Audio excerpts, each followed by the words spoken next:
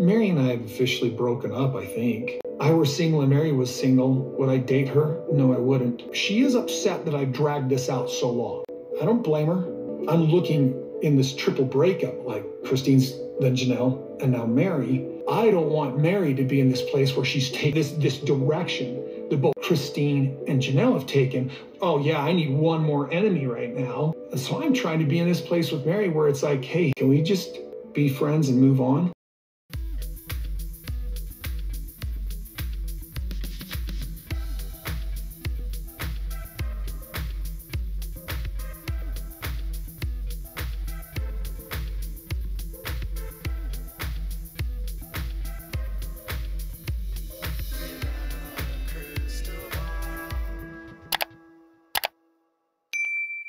Hi friends, this is Katie from Without a Crystal Ball. Welcome back to my channel. It's Monday, September 30th, 2024. I hope everyone's having a wonderful day. Episode 3 of season 19 of Sister Wives was a hot mess express. I just uploaded a video talking about a person's wedding who happened to be Logan, the oldest son of the family, to his wife Michelle back in October of 2022.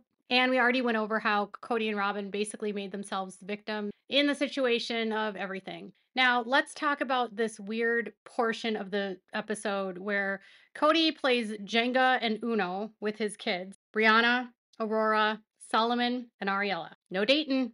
Wouldn't want to tell people that Dayton lives in an RV illegally on the driveway, would you? Yep, by the way, it's illegal for them to live for him to live in that RV because they don't have a conditional use permit to have that on their property. I just learned that over the weekend. But this part part of the episode was so weird because Sister Wives used to have episodes where they actually did things, right? So they would go on trips. They would go to, I don't know, Missouri, or they would go to Montana, or they were building something, or they were moving, or they had a meeting, or they were getting getting together to talk, or they were cooking or doing something, right?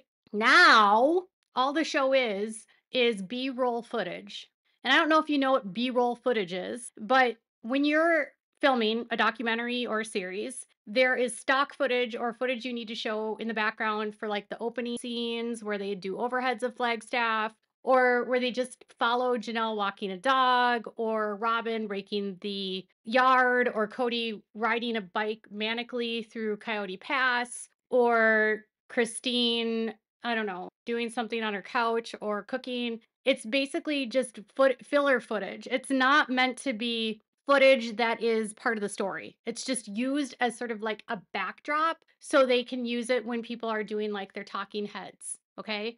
It would be no different than, say, me using photos of them and doing a slideshow for you while I talk. It's just filler, filler footage, filler photos. It has no bearing on what I'm actually saying. Sometimes it doesn't even match the con the words that are coming out of my mouth. And that's what this game night was. The game night was them eating carameled apples and then playing on the floor in the den in the basement, Jenga and Uno, and Kody with Aurora, Brianna, Solomon and Ariella, and Robyn. And then Robyn and Kody basically just word vomiting about the breakups in the family. And Kody and Robyn offering very different points of view here where they couldn't even get their story straight. It was pretty wild. And I kept thinking, maybe this is why they haven't been filming Robyn and Kody because maybe they're that boring. You know what I mean? Like maybe they can't come up with actual content that people want to watch. You know, it gets to a point when you're on a series like this for so many years that the producers are always like, what's next? What else can we do?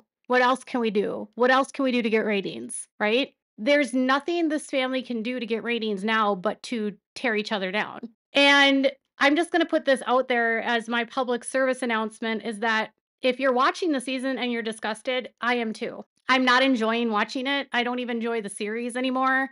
I never really enjoyed the series, but I really don't enjoy it now. Now it feels invasive. It feels like these are conversations that I don't even need to know about. Like these are fights that don't need to be discussed publicly. And I just keep thinking back to how this is going to impact their kids long term and how this can't be good for them. That's all I'm thinking when I'm watching this now is like, if I were in their position, I would not do this. I would not air out everything so publicly and disparage the mother of my children or the mother of my stepchildren so viciously because it's never going to look good. And it's only going to hurt your relationship with those kids more. So that's where we're going to start.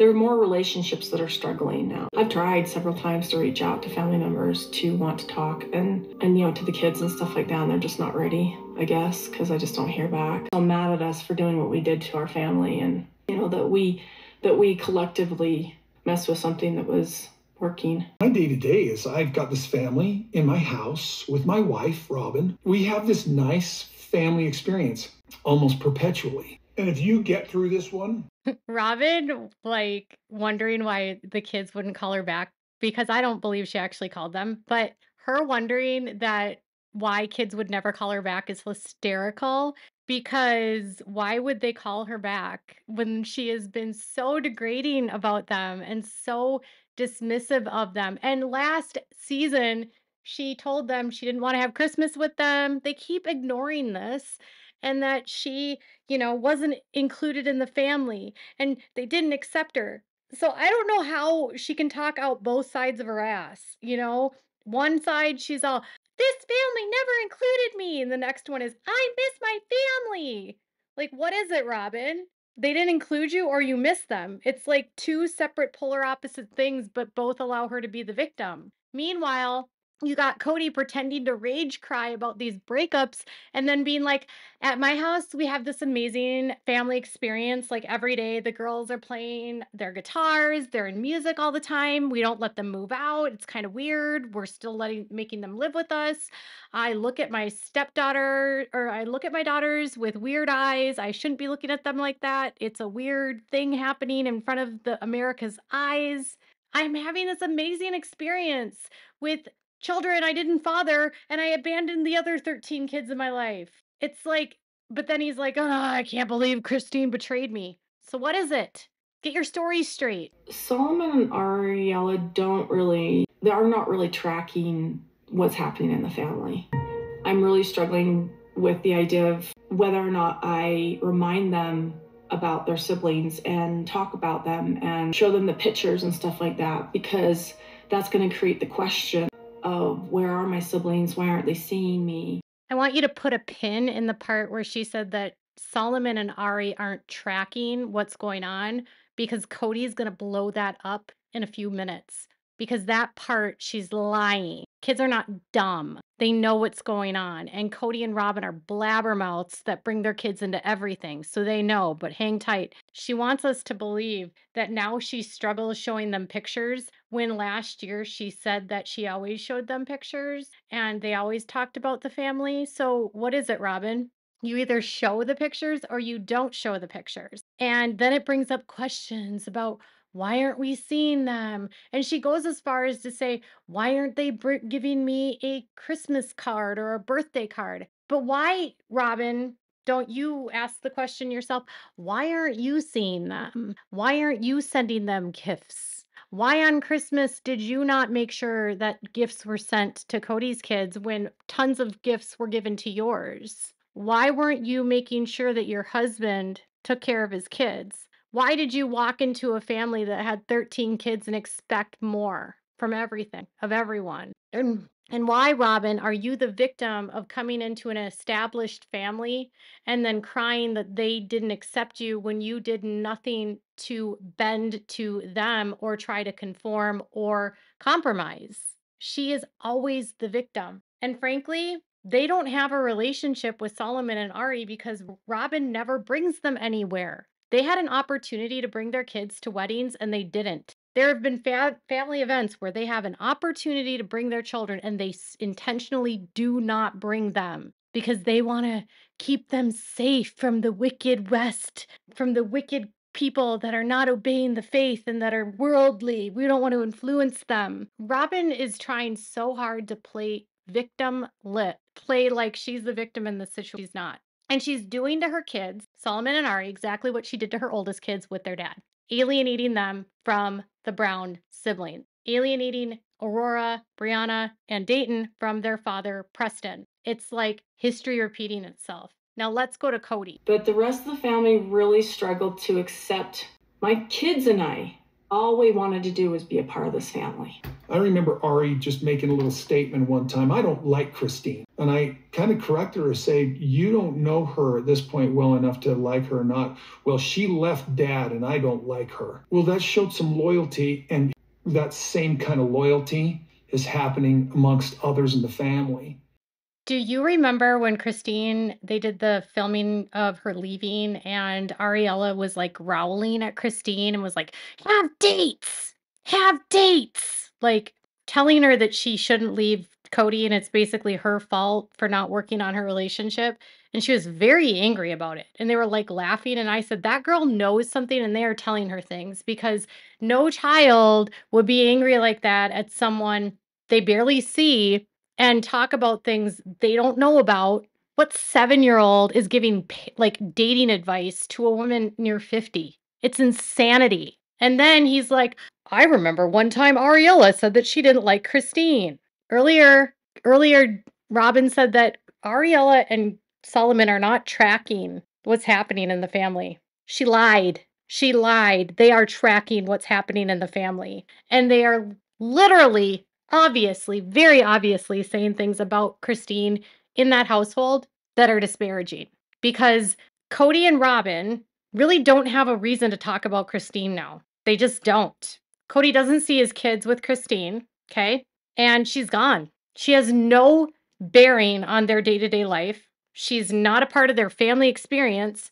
So they have no reason to keep talking about her. But Ari says she doesn't like Christine because she left daddy adult children can base their relationships on their experiences with their parent as children and as adults. They have a frame of reference to make a decision on whether they like Kody or not. Okay. Adult children, Christine's kids, Janelle's kids, Meri's kid, they get to decide if they like Kody based on his behavior and their experience with him. Ariella has no experience with Christine, very limited experience with Christine, not very close to Christine, knows nothing about Christine and shouldn't know anything about Christine. Not to mention, Christine is their sister's mom. How safe is it for Truly to go over to this household when her little sister hates her mom? That's not safe for Truly. What's Ari going to say about Christine to Truly? Is it any wonder why Christine filed for custody and is doing this now? Because Kody, can you imagine what Truly has probably heard in that house when she's there? I've noticed that Truly hasn't been filming much this season. She's keeping her away from these conversations. She it's mostly been Christine with her older kids. And Kody is bringing his younger kids into this, and it's wrong. It is wrong. And he's justifying it, saying she's being loyal to me. Why are you talking about Christine leaving you? And it's frankly not normal for a child to be having these kinds of conversations because you're teaching a child that having multi- multiple sex partners and quote unquote wives is okay and moral and ethical when it's not. It's actually illegal, it's wrong, it's morally corrupt, it's ethically wrong. It's good that Christine left, not bad. Kody and Robyn mismanaged the situation with her children. He couldn't be away for more than three or four days because Ari just gets so sad or whatever. I'm like, I feel like that was poor parenting through all history of the family. The other kids did it, and they're fine. They're well adjusted adults. I think they're fine. There's a couple things that Janelle said in this episode that actually made me angry. That one was part of it. And then she also made a comment about her kids would get scolded at Robyn's house when they would go into her fridge. And that was used as a way to say she was mean to them and didn't let them eat their food so that they were separate. Let's get real about this. Robyn actually isn't wrong for doing that. And I can't believe I'm going to stick up for Robyn here, but she was on food stamps.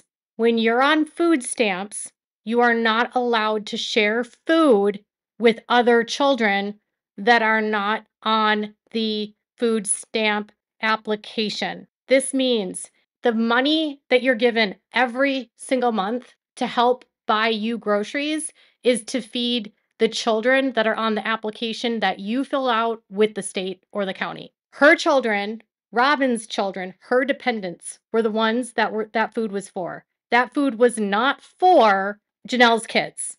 Robyn obeying the law in that respect she can't be faulted. you can actually get in trouble for getting, you can literally get in trouble for that. You can get put in jail for doing stuff like that. That's fraud.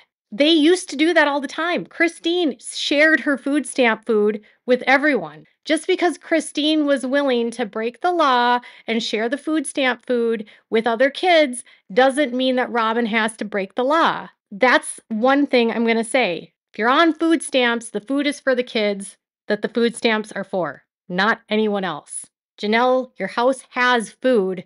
You can feed them there. And then maybe why aren't you telling everyone that she was on food stamps? Why aren't you asking Kody, why is your wife on food stamps? I mean, that's not a question that we want to have discussed on national television, right? You don't want to talk about the fact that Robyn was on food stamps while they lived in Las Vegas until like 2013 or 14. Two or three years, three years that she's on food stamps. That's why they didn't get food at her house. I also want to say something here. I get really tired of hearing that they have well adjusted children. Garrison's dead. Mykelti is on her Patreon talking about the pain that she has as a result of growing up in polygamy. Gwendolyn has expressed her frustrations.